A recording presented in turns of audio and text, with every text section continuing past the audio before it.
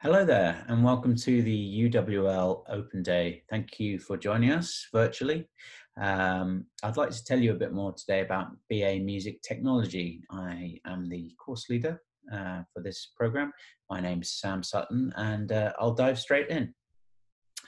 So, our flagship music technology course offers practical production skills, extensive studio facilities, and classes delivered by industry active lecturers, allowing you to really fine tune your craft. The course is structured around three pathways or disciplines music technology, audio post production, and live sound to allow you to really specialize within your chosen field to get you industry ready. As a student on this course, you'll also have unique access to one of the largest studio complexes in Europe.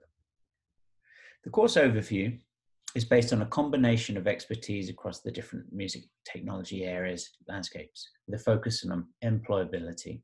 You'll develop the practical and critical skills required to succeed in this competitive industry. It offers, the course offers collaborative opportunities. So as a music technology student, you'll be working alongside actors doing voiceovers, theatre students doing live sound, film students creating soundtracks, game students creating sound and music for games, performance students opportunities as well. The course has a real future facing philosophy which will allow you to embrace the ever changing, rapidly evolving industry of music and sound. After graduating, you'll be equipped with the expertise to deliver industry grade work in a wide range of disciplines that include audio post, live sound, composition, studio recording technology, video game audio, and beyond. So it's our aim that we really immerse you in an industry style setting whilst you're at uni. So having gone through all these experiences, building up this skill set within this academic context, by the time you leave, you're really ready to face the industry with a skill set that's going to make you really valuable to the potential employers.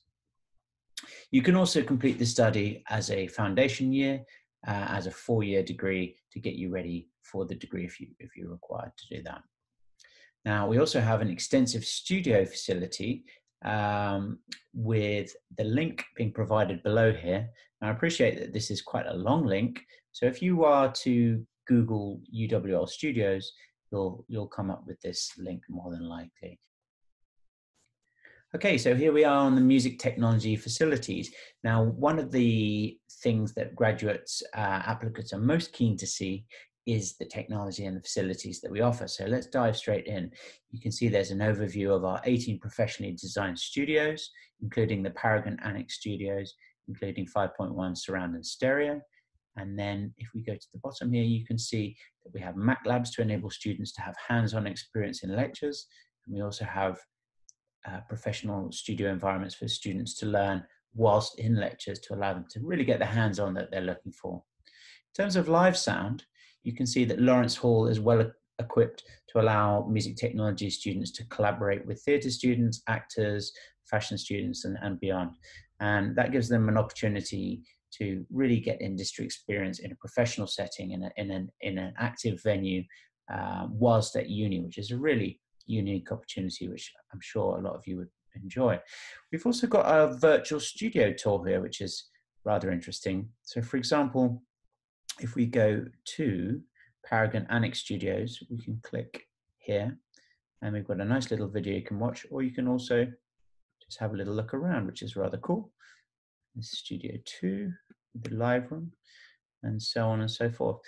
We've got Studio 3. You can see lots of nice gear to be looking at. Vestry Hall, Studio 1, nice big studio space. You can you can see the surround uh, set up in there rather well. And so take your time, have a look, come and visit our virtual studio tour, see what we've got on offer here. Um, and please get in touch if you've got any questions, but I know that's something that I think most of you would be keen to see. So I was also keen just to let you know a little bit more about myself as the course leader. Uh, I'm also a professional composer and sound designer. So here's a little sort of selection of work that I've uh, done recently, some stuff for Netflix, some stuff for the World Cup. There's a Nike advert in this, so on. So it's nice to know that you're going to be uh, taught by lecturers who are actually active practitioners at the coalface, doing it for real, and so they can bring that experience into the classroom. Here's a here's a look at some of my uh, output in terms of recorded music as well. So studio-based productions, and a lot of this music is used across TV, film, and games. It's worth touching on some of our uh, graduate success. You can see uh, Tom here won a Golden Reel Award for Best Sound for a short film picture here, which we were rather pleased to see. Here he is accepting his award. Similarly, so Tom Williams winning his BAFTA last year for Best Sound on Killing Eve, which was a fantastic achievement. Nice to see students going through the process of um, studying with us and then making their own mark and um, bringing something back and really making a success for themselves. You can see that we've got our online booking system here to allow you to uh, take advantage of our vast selection of equipment, including microphones, instruments, uh, to really kind of make the most of your studio time. And that's um, all bookable online to make that as simple as possible uh, for, your, for your studio time and beyond. Um, in terms of networking opportunities, we also have a relationship with the Met Film School whereby we provide music and sound for their productions. So that's a speed dating style event where we have students from UWL and the Met Film School getting together to produce fantastic pieces of work, and that normally culminates in a cinematic uh, screening at somewhere like somewhere like Leicester Square at the Prince Charles Cinema, whereby students get an opportunity to see their work on the big screen, which has worked fantastically well and something that we're very proud of here.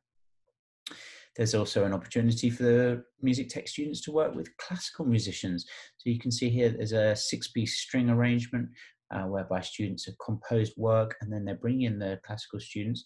And as a large functioning creative hub, um, it allows us to collaborate and combine with music tech students, with orchestral students, with actors, as I've been saying. So this is something which is really special and at the heart of what we offer here.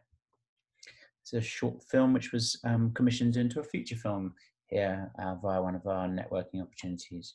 In this case, we've got a professional brief that was provided by Loaded Production Music for our students to produce library tracks on a real world brief basis. So although they're studying within a university environment, we're always looking to give them professional opportunities and allow them to network within the industry. And that's very much at the heart of what we do from industry active practitioners, state of the art equipment, and cutting edge technology. So, really creating that rounded creative experience. So, giving you a really holistic introduction and grounding in music technology to allow you to leave with industry industry ready skills and uh, applied technologies. So we look forward to um, welcoming you here to the University of West London. Um, feel free to get in touch if you've got any questions at all. And uh, we can't wait to see you here next September. Hello, I'm Neil Hurd. I head up live sound operations at LCM. Let's have a look at what we get up to. Not technically someone singing at LCM, Billie Holiday, back in the 60s, but using the traditional Shure 55 microphone, which any sound presentation has to feature by law.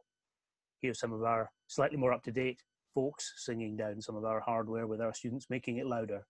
So we'll look at how live sound progressed from these crazy days to the uh, more modern, sleek, uh, possibly less exciting world that we live in now. Yes, we've gone digital, we're fully digital, and don't forget that you'll always need to be able to do this. And the other contractual obligation picture, and of course, a tiny bit of physics. Some more students performing, a whole forest of microphones making them louder, all good. Ah, singing and dancing with radio mics attached. No technical challenge there at all. And we're back to the beginning. I grew up in Florida, downloading beats off the internet, rapping off them, putting them up online. I wanted to stop doing that. I wanted to make my own beats, record vocalist. So obviously I didn't have the tools or the knowledge to be able to do that. So I decided music tech. I mean, specialist is a com combination of things. So you've got the real technical side of things, then you've got the network with all the other people around uni. I got singers to come in, I've got pianists, I've got guitarists, I've got my whole orchestra just there on hand, and I think that's why I chose it. Because the course is so broad, it kind of encompasses everything. So it's kind of like producing, mixing, recording, kind of helping people write, helping people produce their own stuff, whilst at the same time doing a lot of sound design, live sound, theatre sound, kind of everything you could possibly want. So there's, there's a lot of different subjects and modules. The main ones I would say are the live sound practice, which is hands-on and you're doing almost placements because it's London College of Music, mixing things live. Um, sound theory, which is you're mixing, you're mastering, and all the technical skills you need to be able to bring uh, a soundtrack or a song to the industry standard. And also film, so that goes from soundtracks, composition to ADR and editing dialogue for film without the access to everything. I think we worked out my recording project would have cost me about 200 grand had it not been here. So with all the mics, all the musicians, I'd have had to have hired them, was able to record them in facilities that are very hard to come by unless you're going to like Abbey Road. Most of my lecturers, I think they're all working in their fields. I mean, they've all got their own websites. I can go to their website, check out what they're doing. Even after I graduate, I'm still in contact with them now. Um, anything I do, if I'm doing a mix, I can send it over to my lecturers and say, how is it? How does it sound? Just hop on and you'll, you'll love it all the way through. I mean, and you'll learn so much. When you're finished with it, you'll feel more confident and you'll be able to chase your dreams.